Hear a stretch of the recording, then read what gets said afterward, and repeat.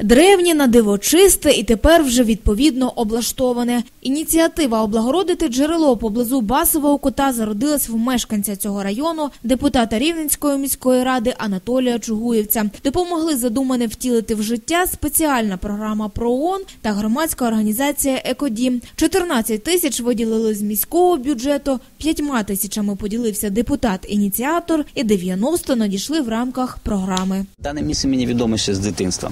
Я пам'ятаю той час, коли трохи там далі за корчами було криниця. Люди приходили, пили питну холодну джерельну воду з цієї криниці.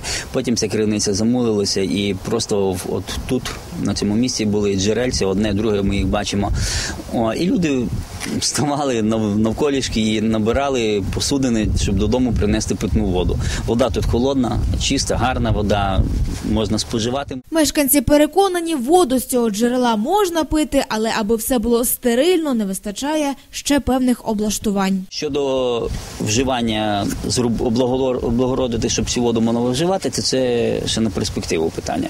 Тому що в програмі ПРООН, з якою ми працювали з Кока-Кола Бонако, було прописано відновлення природного джерела. Потрібно взяти аналізи даної води і зробити так, щоб туди не попадали домішки органіки.